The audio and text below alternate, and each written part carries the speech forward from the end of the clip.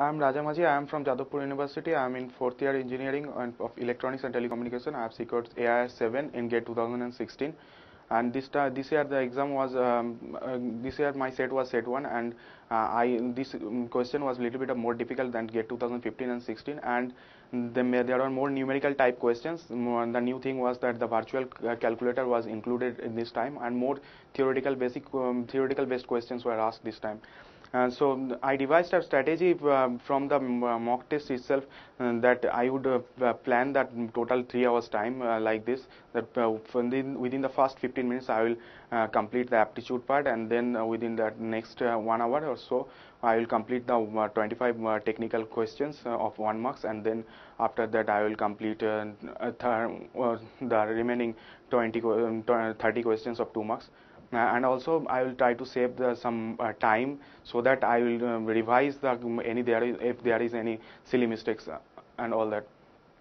Um, the, this time was uh, the success. The reason of the success was that that I um, practiced very much, um, and the GATE Forum mock test series really helped me, and uh, I had a very good foundation or basics of, of the subjects that I uh, that um, that is asked in Get EC. So as I mentioned, I started my preparation uh, right after uh, the sixth semester, means the third year, uh, second semester. And after that, there was two months of vacation, and within that time, I uh, completed the entire syllabus. And after that, um, I tried to practice uh, as many questions as possible from GATE Forum study materials and also from R.K. Kanodia book. And uh, first, you have to start the subject like more fundamental subject like network, and then EDC and analog and digital and microprocessor, then uh, control system, signal system, and then communications and electromagnetic theory. After that, uh, you uh, after that you we should do um, mathematics.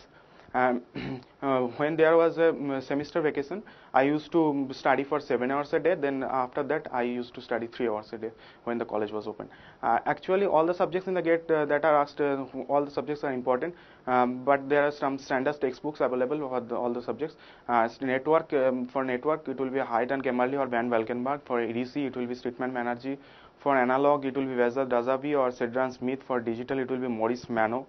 Uh, and microprocessors, Ramesh Gaonkar, you know, control systems, Nagrath and Gopal, or get GATE Forum study material are very helpful in that in that regard.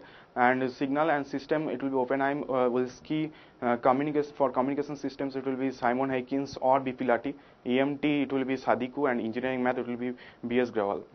I took ICP Plus uh, from GATE Forum when I was in third year, but at that time I was not eligible for appearing in the GATE.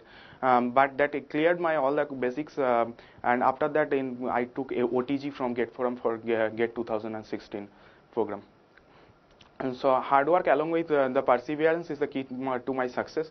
Uh, prepare uh, and revise in a proper manner to crack GATE and also uh, um, practice a lot of mock tests so that it will give you a good amount of time management practice and uh, GATE Forum class class program classroom programs are very well. The professors or the teachers that they, they teach very uh, well and very well and uh, they um, um, make a very good strong concept in the uh, all the subjects.